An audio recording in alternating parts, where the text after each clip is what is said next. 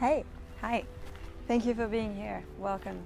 So, today we're actually going to do something together, and I want to try this format because it's actually something that I do a lot, and most of my work is based on research, it's based on reading, and a lot of the things that I find are actually extremely beautiful. We're going to let those birds sing every time they do, and I'll shut up, we'll listen and then we'll go back. So um, I want to share with you things that I enjoy. So this is going to be quite a short video, but hey, let's do it. So this is based on on a book. I mean, it's a book in Turkey. I did not find the equivalent in English, but they made a book out of those collections of writings. They're from Hermann Hesse, who wrote books that I really changed my life. Um, I really encourage you to try reading Steppenwolf by Hermann Hesse. It's it's it's wonderful. And then of course there's Siddhartha, and then there's other books that I really enjoy. Today I'm gonna read just a, f- a few quotes from him talking about trees, and that's why we're in the midst of trees. We're in Yildiz Park in Istanbul. And I spent, you know, more than an hour just connecting with the roots, connecting with the trees, and I got a beautiful T-shirt about trees too. and yeah, let's let's go. Let's have a moment. So this is from Hermann Hesse. For me, trees have always been the most penetrating preachers. I revere them when they live in tribes and families, in forests and groves, and even more, I revere them when they stand alone. They are like lonely persons, not like hermits who have stolen away out of some weakness, but like great solitary men like Beethoven and Nietzsche. In their highest both, the world rustles.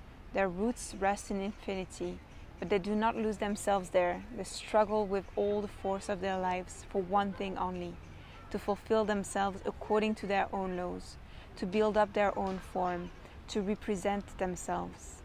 Nothing is holier, nothing is more exemplary than a beautiful, strong, tree. When a tree is cut down and reveals its naked death wound to the sun, one can read its whole history in the luminous inscribed disc of its trunk. In the rings of its years, its scars, all the struggle, all the suffering, all the sickness, all the happiness and prosperity stand truly written. The narrow years and the luxurious years, luxurious years, the attacks withstood, the storms endured. And every young farm boy knows that the hardest and noblest wood has the narrowest wings, rings, that high on the mountains and in continuing danger, the most indestructible, the strongest, the ideal trees grow. Trees are sanctuaries. Whoever knows how to speak to them, whoever knows how to listen, to them can learn the truth. They do not preach learning and precepts, they preach, undeterred by particulars, the ancient law of life. A tree says, A kernel is hidden in me, a spark, a thought. I am life from eternal life. The attempt and the risk that the eternal mother took with me is unique. Unique the form and veins of my skin, unique the smallest play of leaves in my branches and the smallest scar on my bark. I was made to form and reveal the eternal in my smallest special detail. A tree says, My strength is trust. I know nothing about my fathers. I know nothing about the thousand children that every year spring out of me. I live out the secret of my seed to the very end, and I care for nothing else. I trust that God is in me. I trust that my labor is holy. Out of this trust, I live. When we are stricken and cannot bear our lives any longer, then the tree has something to say to us Be still, be still, look at me. Life is not easy, life is not difficult. Those are childish thoughts. Home is neither here nor there. Home is within you, or home is nowhere at all. A longing to wander tears my heart when I hear trees rustling in the wind at evening. If one listens to them silently for a long time, this longing reveals, reveals its kernel, its meaning. It is not so much a matter of escaping from one's suffering, though it may be seem to so, though it may seem to be so. It is a longing for home, for memory of the mother, for new metaphors, for life. It leads home. Every path leads homeward. Every step every step is birth. Every step is death. Every grave is mother. So the tree rustles in the evening when we stand uneasy before our own childish thought. Trees have long thoughts, long, breathing, and restful, just as they have longer lives than ours. They are wiser than we are, as long as we do not listen to them. But when we have learned how to listen to trees, then the brevity and the quickness and the childlike hastiness of our thoughts achieve an incomparable joy. Whoever has learned how to listen to trees, whoever has learned to listen to trees, no longer wants to be a tree.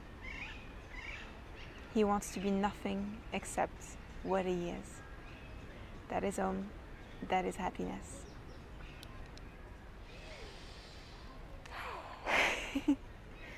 wow. There was something else that I want to share that I saw from him, but that I did not read here. It's the reparenting through the idea that they do not have parents. They are all born from a seed. That seed does not give them much information, it gives them the energy to actually grow a little bit until they can feed from the sun and from the roots that they have planted. but they live without their parents, without parenting. And for those who had difficult, difficult years in their childhood and who did not receive the support, trees and especially groves and forests, they're incredible friends. So that, so much so that being next to them, being a companion and not looking for them to to protect you, to stand strong for you, but just be be with them. I think it's the most powerful lesson here. They connect with one another, different species, they connect at the roots.